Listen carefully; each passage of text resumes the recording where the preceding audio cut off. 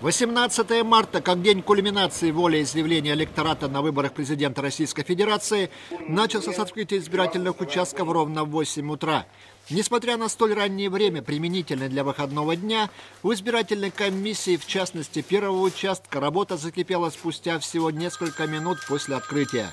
Для Веры Навьюховой, она первой здесь проголосовавшая, это воскресное утро связано с очередным выходом на работу в Березовскую районную больницу. Говорит, что перед сменой просто не могла не проголосовать.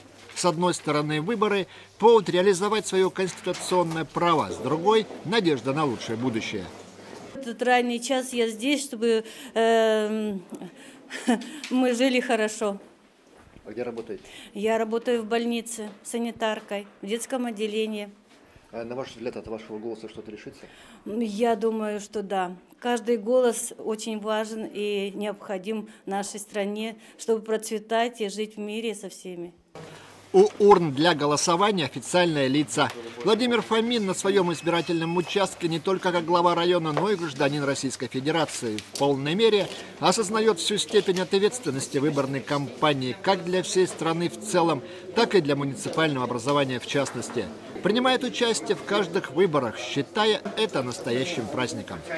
По всем избирательным участкам проехали с председателем Думы.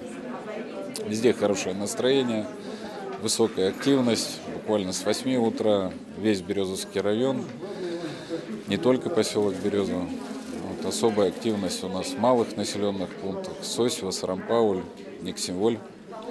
Поэтому хороший, хороший праздник. Главные выборы страны, государства российского.